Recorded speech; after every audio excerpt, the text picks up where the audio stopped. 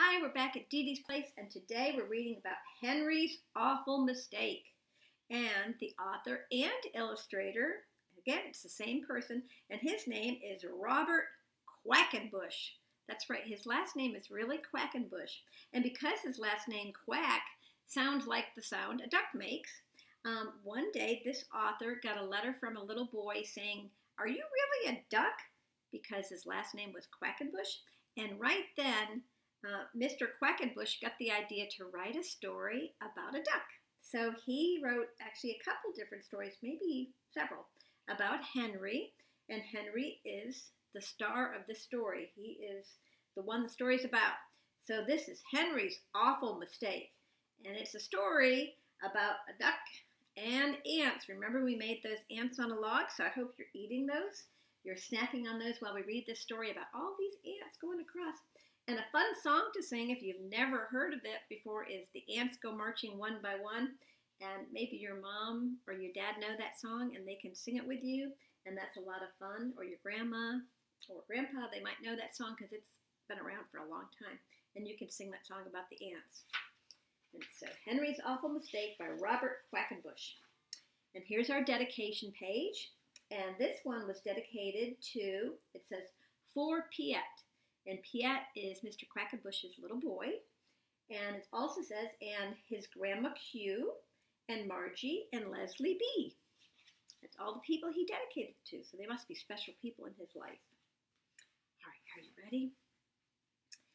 The day Henry the Duck asked his friend Clara over for supper, he found an ant in the kitchen.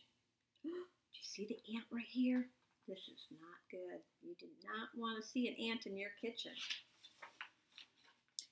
Henry was worried that Clara would see the ant. She might think his house was not clean. The ant had to go.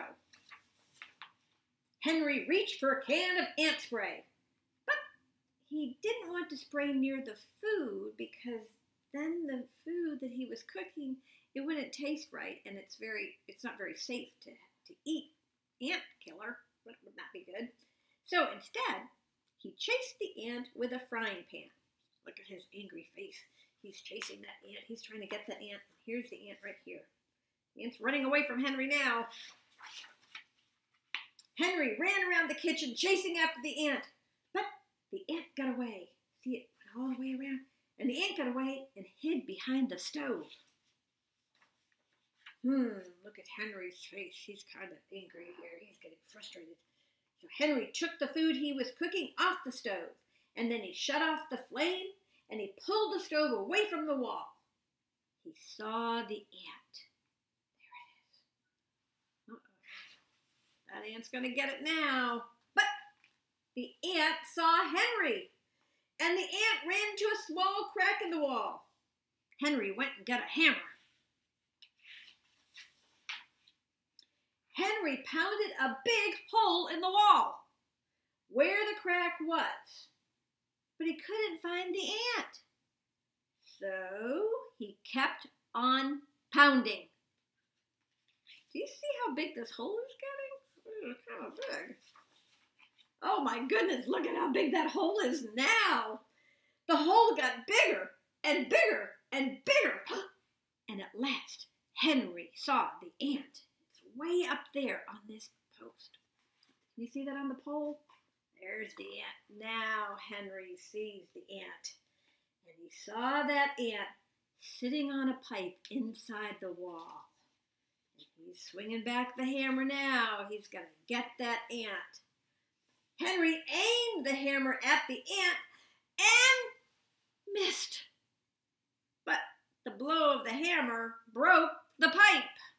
This is not good. Water came shooting out of the pipe. Henry couldn't stop it. There's water going everywhere. Henry grabbed a towel. He tied it around the pipe, and the water stopped shooting out. Look at all the water just dripping all over the place. Oh, what a mess. Oh my goodness. But Henry hadn't stopped the water soon enough. It had sprayed all over the kitchen. Everything was soaking wet. except for Clara's supper. Thank goodness. Oh, phew. Henry began mopping up the puddles of water. All at once, he slipped and banged against the kitchen table, and everything came crashing down, and Henry was covered with pots and pans and food. You see it flying everywhere? Oh my goodness, all the places. There's the water on the floor, and there's the food coming out of the pots, and there's water and lettuce, and oh, what a mess! Oh my goodness, the supper was ruined. There was nothing Henry could do now but to call Clara and tell her not to come. You see Henry's face here. Look at him, all underneath that food. Oh, Henry. While Henry was talking on the telephone, the towel came loose from the pipe, and the water came shooting out and flooded the whole house. Henry was carried right out the front door by the flood. Oh, this is such a messy story. Oh my goodness, look at the house just floating there, water shooting everywhere. Henry's all soaking wet. He's a mess. There was no going back. Poor Henry's house was washed away by the flood. He saved what he could and he moved into a new house. Now, I want you to look closely in this picture. You see Henry leaving with his suitcase? What do you see right here behind Henry? Do you see that? Do you remember who that is? That's the little ant that started all this trouble. And it's following Henry. I think it might be going to the new house.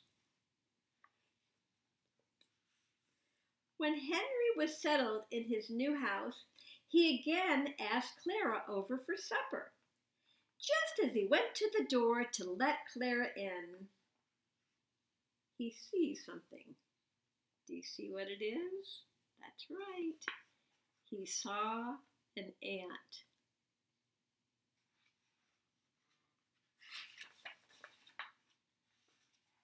He looked the other way.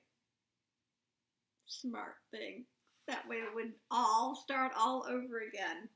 And that's the story of Henry's Awful Mistake by Robert Quackenbush. See you next time at Didi's Place.